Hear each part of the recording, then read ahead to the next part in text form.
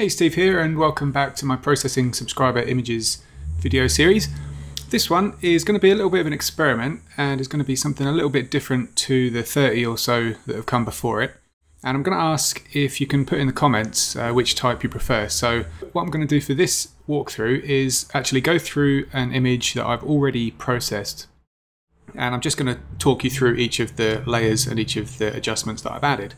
So let me know in the comments which type you prefer. Just say long or short. And uh, yeah, then that will help me figure out whether this is something I'll continue.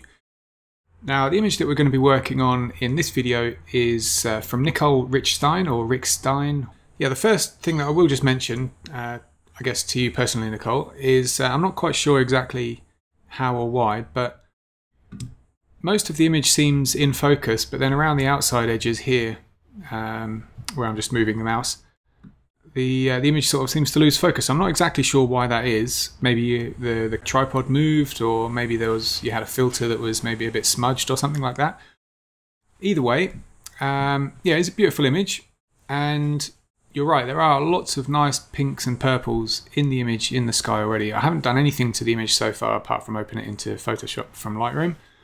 But what I think is going to make this image really stand out is accentuating the uh, the main pile of rocks in the middle here uh, by making those lighter and then gradually darkening the rest of the image. So, yeah, I think what the image really suffers from um, is just a lack of focal point. So, obviously, you've got the focal point of the the rocks here in the center, which is great, but there's a lot of other stuff going on, and the tonal range isn't that um, isn't that wide. So yeah, what we really need to do is get these rocks to stand out against the background of this uh, very busy, stony, rubbly surface in front and the sky to a lesser degree because um, it is a bit brighter. Um, so yeah, I'll just walk through the steps and let's go. So the first thing that I did to uh, to this image was add a curves adjustment, which just simply darkened the image. So we've darkened, you know, dragging the curve down and then I've added a mask to isolate this change to the sky only. So uh, for this particular sky, the um, you know, all that you need to do really is just darken it, and you start to see these colours come through really nice. Let me just have a quick look at the mask here. So I've used the luminosity mask to isolate this adjustment to the sky mostly. Still got some greys in here, so it is being adjust uh, is being added a little bit to the foreground but mostly this is a sky darkening layer. So that's the first step. Second was this levels adjustment, which just kind of did the same thing, but in a, in a slightly different way. And I also used the luminosity mask to isolate this only to the lightest part of the sky here. So if we look at the mask, just these edges of the sky that are already a bit dark, we've managed to isolate the, uh, the darkening so that it excludes those already dark areas. Um, so this curves adjustment is next, and that has brightened the image.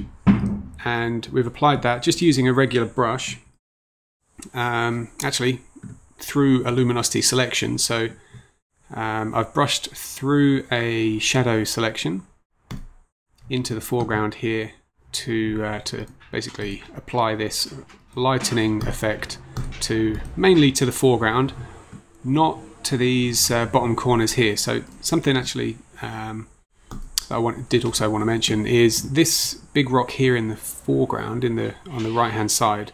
It's got a lot of visual weight to it, so it's you know it's very uh, very much like drawing our eye, and so in bringing the attention to the center by lightening everything around the middle and darkening the edges, we can kind of go some ways towards eliminating that visual weight that's kind of dragging us down into that bottom corner of the frame.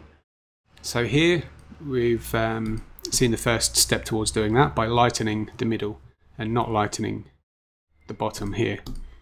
So that's the uh, that's the curves adjustment. Next, I just did a really quick and rough um, levels adjustment here to uh, to brighten these rocks. I didn't do a super accurate job there. It's just literally using a brush if I was going to be spending a bit more time on this, I would have used the luminosity mask to isolate that and make it like a really neat layer mask. Next, was uh, another lightening layer. So levels adjustment, they were just tweaked the uh, the highlights in the midpoint there in that levels adjustment and then brushed it just into the foreground, but again, not into the bottom corners here.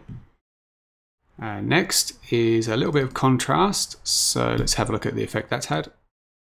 And this time, whereas in the previous couple of adjustments we've been lightening the middle, this time we went the other way, adding contrast to the top, so basically the sky, and then the, uh, the bottom of the foreground here.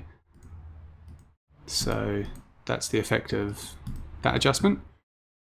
Next is uh, a darkening adjustment, just using a curve again, where again, in order to kind of make this really pop, this this bundle of rocks in the middle, really need to isolate it and make it um, stand out, like brightness wise, um, against the not only the background but the foreground as well. So all I've done here is darken and then and then brush that effect in using a layer mask. So black layer mask, white brush, brushing it into the foreground around the rocks here to just darken everything that's surrounding that big bundle there in the middle. Uh, next, this was just a kind of a preparation layer that I wanted to add before adding an Orton effect. So here I've just lifted the shadows, so I've added a curve, and then I've just moved the black point here up from, what is that, from 0 to 9. So let me just show you what that does. It kind of uh, washes out the shadows a little bit. But the reason I wanted to do that was so that when I added the Orton effect, which is going to add a lot more contrast, it just it just applies it in a different way.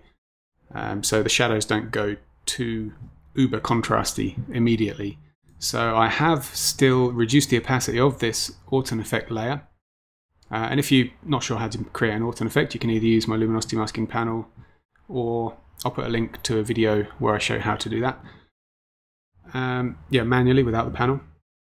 Uh, but I've also added a luminosity mask here just to isolate this, well, to, to eliminate it from the deepest, darkest shadows as well. So without the mask, there was still a bit extra, um, a bit too much contrast in those darkest shadows. So a luminosity mask there to isolate that.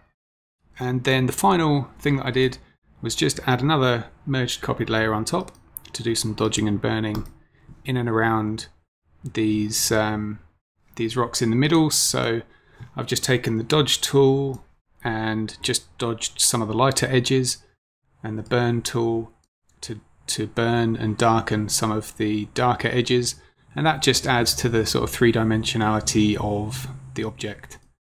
So if we go before and after, we'll see the effect of that and just yeah something like that is going to help make it pop a little bit more. So let me just zoom out a bit and there we go. That is the uh, the finished image that I kind of came up with. Uh, let's just have a quick look at what this all looks like together. So let me just put that in a group. Uh, and I'll turn it off and on. So here's the original raw file. And here you can see we've basically flipped the tonal, uh, not the tonal range, I'm not quite sure how to say this, but you know, the the middle here, uh, this, these rocks in the middle were dark um, the sky was a bit too light, the foreground was light. Uh, this rock was taking our attention and pulling us down into this bottom corner of the frame without anything else there to kind of take us back into the image.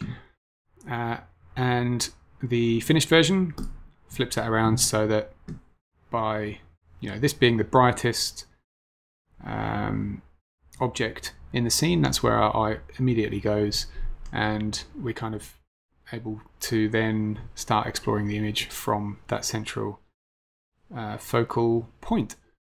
So yeah, I hope you found this video useful. Like I said at the start, if you want to let me know if you prefer this real quick retrospective uh, walkthrough, where I just kind of show you the layers that I've added after I've added them, um, then let me know. Or if you prefer me to go every step of the way, every adjustment showing you exactly what I'm doing, then also let me know, just so that I can get a rough idea of what you prefer. Or if you want a mix, then I'm happy with that as well. So uh, yeah, I'm here for you guys. Just let me know what you want, and I shall provide it for you. So with that said, thanks for watching. I'll see you next time.